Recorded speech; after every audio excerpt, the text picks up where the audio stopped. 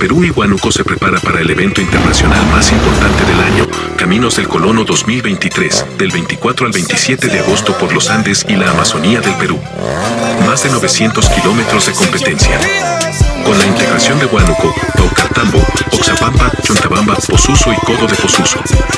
Gracias al apoyo de Rally Club Huánuco, Federación Deportiva Peruana de Motociclismo, Municipalidad de Huánuco y Dircetur Huánuco.